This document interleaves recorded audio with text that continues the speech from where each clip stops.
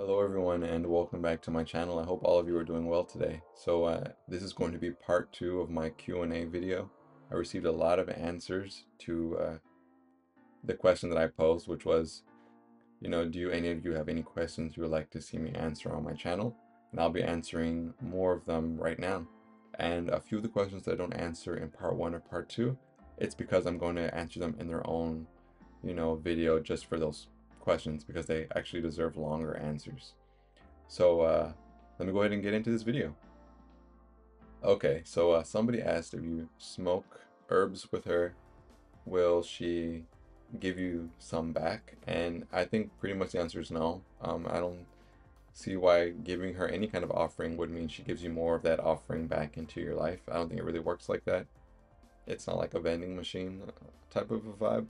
Um, just uh, when you give her an offering, you know, you're giving her an offering because you just want to share something with her. You want to give back to her, not necessarily giving her something in the, you know, in the hopes or even expecting her to give you something else in return.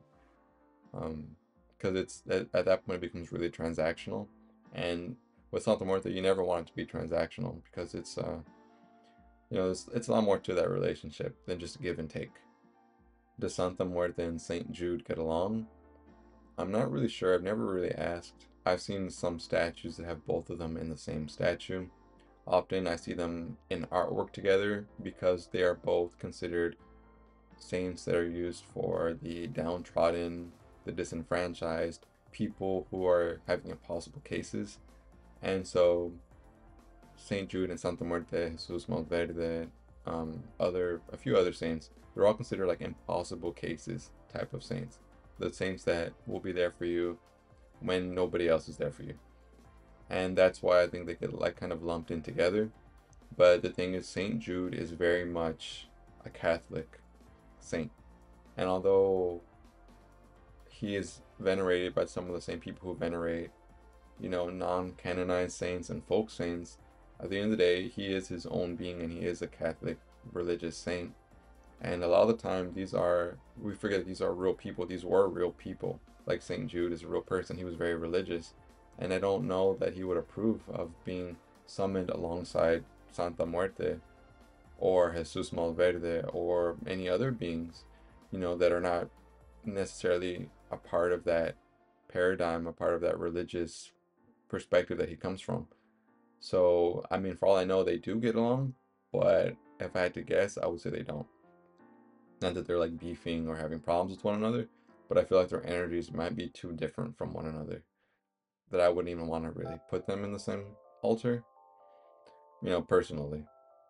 Do I use a rosary with Santa Muerte or anyone else? I have used a rosary with Santa Muerte, but very rarely and not for a really long time. A rosary was one of the first things I bought when I first became a devotee to Santa Muerte. Um, I still have it, of course, it's put away. Um, but I've never used the rosary with anyone else, I don't think.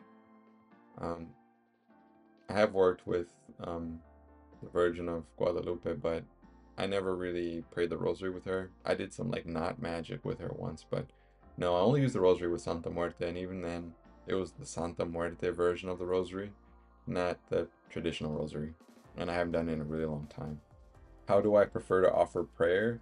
Um, usually I will do it at the altar. So I'll do all my opening prayers, like the everyday kind of prayers for going to the altar. And once I'm at the altar, I'll usually speak and commune and just talk very casually at the altar and, you know, talk about everything that I've been going through, different thoughts I'm having, places where I feel like I'm faltering or where I, you know, feel really happy about. And then I will, you know, at that point, I will be like, okay, I'm going to offer some prayers. I will say just like that. And then I will start to say prayers. Sometimes they'll just be prayers of general things. Sometimes I'll be praying for something specific, but I usually offer prayer like during my communion time at my altar. That's when I most often offer prayer. Somebody asked about uh, seeing bubbles in their water glass for Santa Muerte, and is she trying to tell them something with that? I don't usually see bubbles in the water glass. I do sometimes though, and I did recently. And so um I think for me personally, when she shows water bubbles in the glass, it just means that she's present.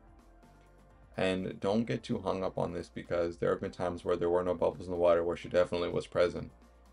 But I think sometimes once in a while, it's just like a little something extra that she does.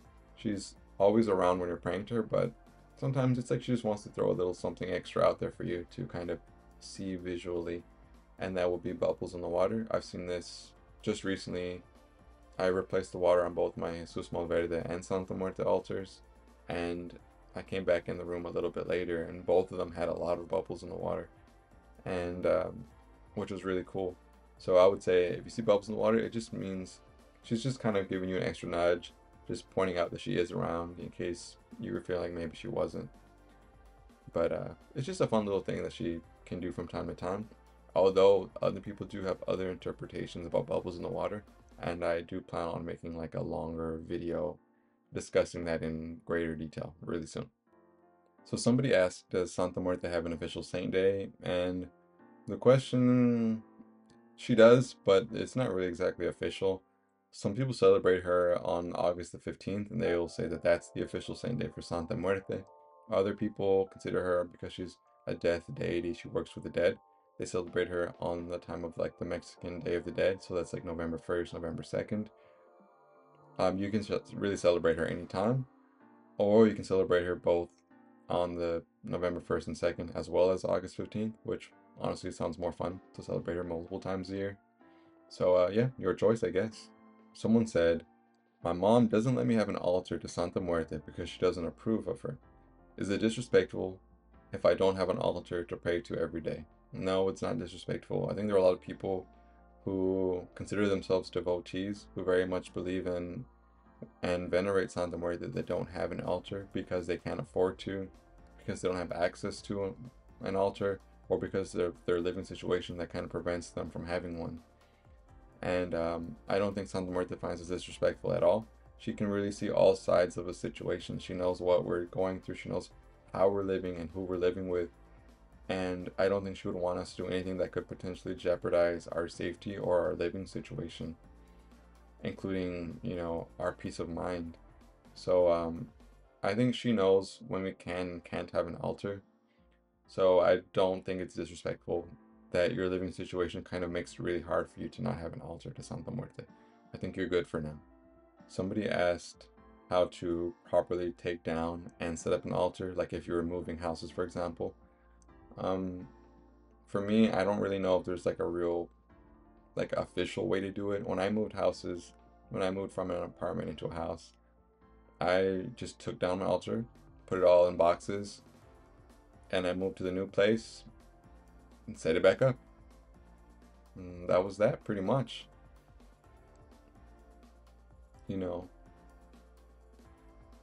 I think um, if you are um, maybe setting up a new altar in a new place for the first time. Maybe just have a little special something at the altar to kind of celebrate that it has a new location maybe. But if I was moving an altar from one room in the house to another room in the house, I probably wouldn't even do that.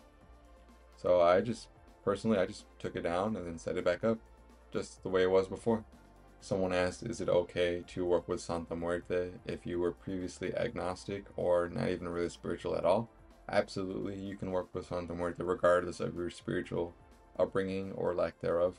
It doesn't really matter what you were really doing before, as far as like religion or spirituality goes. It's just about what you're doing now and what you choose to do going forward. Someone asked, is it okay to start working with Santa Muerte even without knowing all the details of how to work with her, her traditions, her cultural aspects, all the rules about working with her? I would say no, I think it's really, I think it's best to educate yourself as much as possible.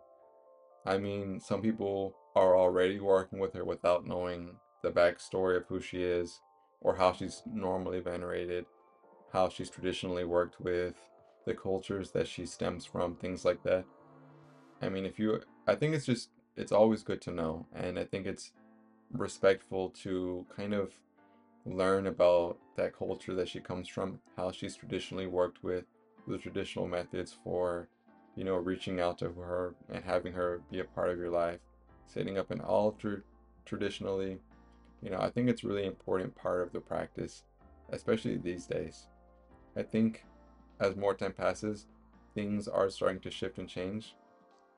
I think that's normal with, you know, different spiritual paths, practices, religions.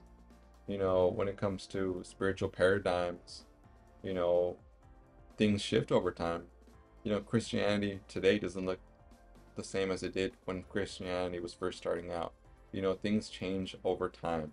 And I think the veneration of Santa Muerte is going to change over time. And I think eventually, you know, I think the practice of working with her isn't going to resemble what it looked like when Santa Muerte's name first started appearing, you know, in the public's eyes, basically. So I would say it's true you can reach out to her and start working with her without knowing the rules, the backstory, the traditions. But I think you would be doing a great disservice to yourself and maybe on some level to her to not really try to learn and educate yourself about her history, her cultural impact, and the traditions that her veneration kind of stems from. Are there any scary dangers you can bring on yourself? Um, that's a really vague question. I'm assuming it's relating to working with Santa Muerte.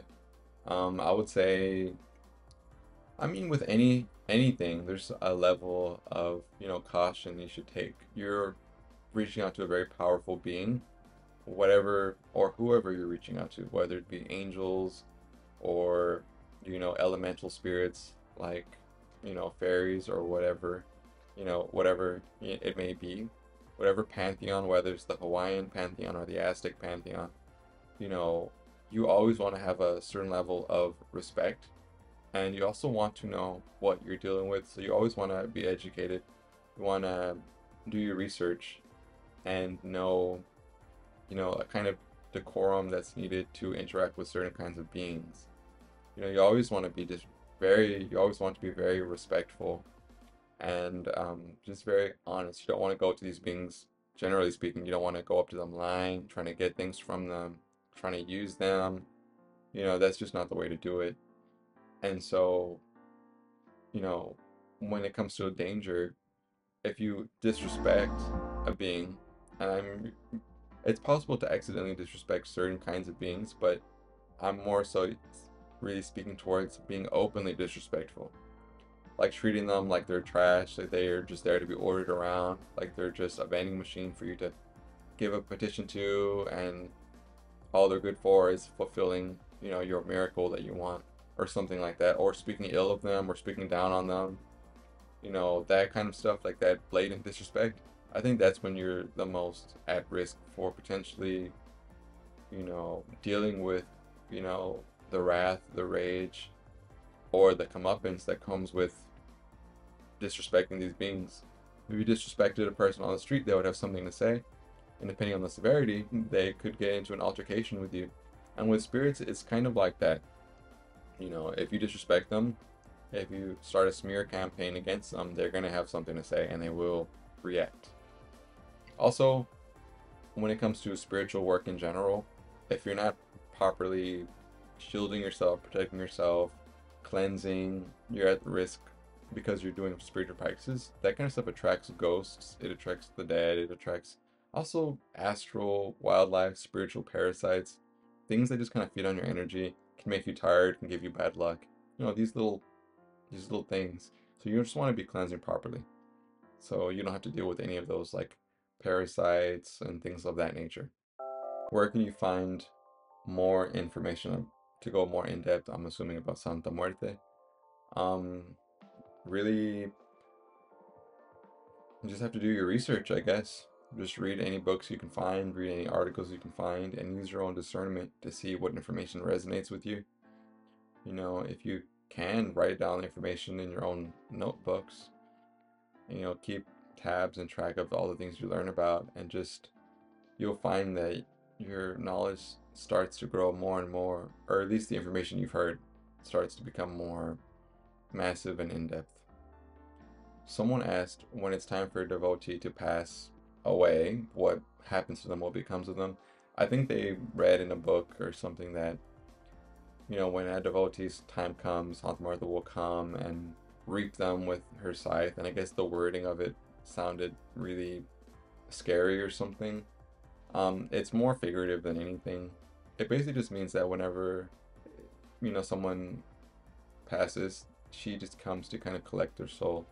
And it's not necessarily that she, it's not necessarily saying that she is waiting in the wings with her, you know, sh- sharpened scythe ready to like, you know, you separate, you know, head from body. She's just ever present because you know everyone's story on earth ends and when that time comes their spirit leaves their body she is considered a psychopomp.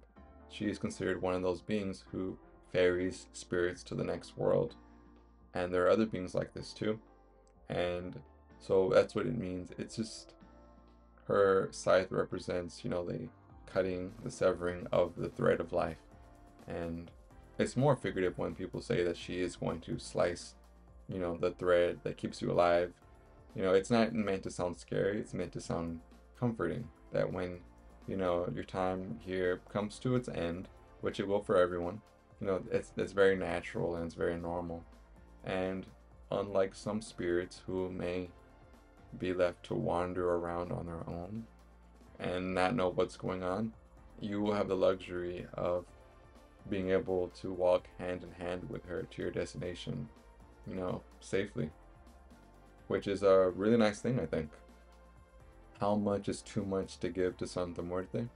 I think it's good to be generous with Santa Muerte and the beings that you work with, but you never want to give them so much that you leave yourself hurting.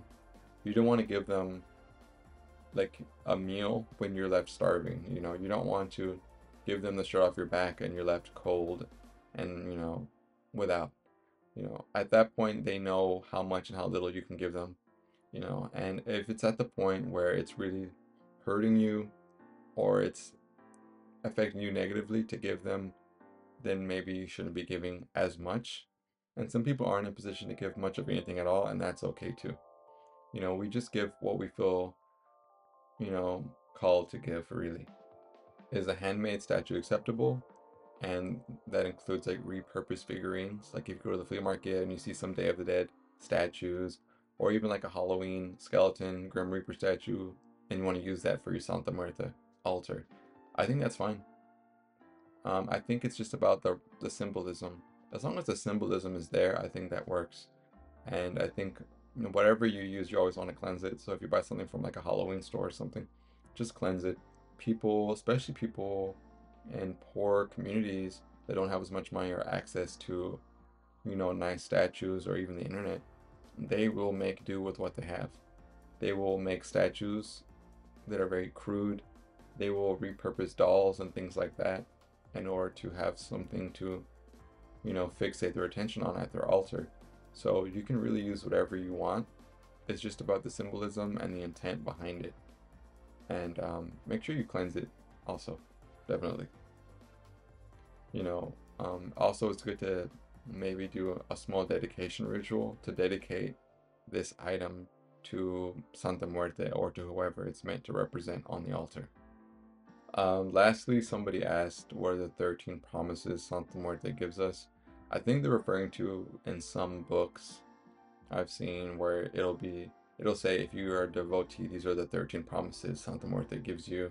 Like you won't have a sudden like you won't pass away suddenly you'll have um 24 hours notice before you know your time's up um you know things like that and i think um i don't really know about that i think some most of them are true but they seem to vary from person to person it seems like a very just i don't know if it stems from um pagan practices because i know in wicca they have like the 13 um what is it, the 13 signs of a witch or something like that, where it's like a similar thing, really.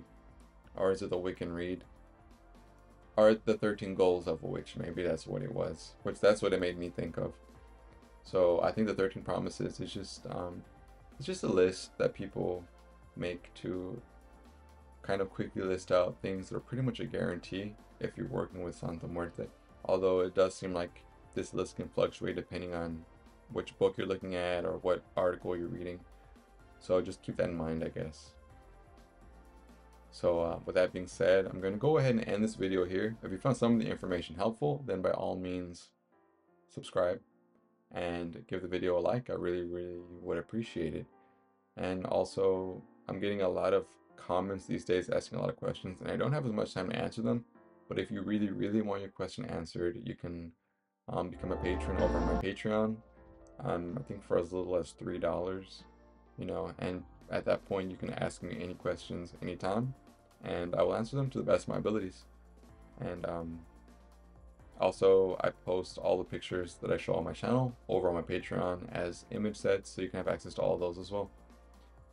So uh, that being said, thank you all so much for watching. Thank you so much for participating and asking me all these questions. And I will see all of you in the next one. Take care.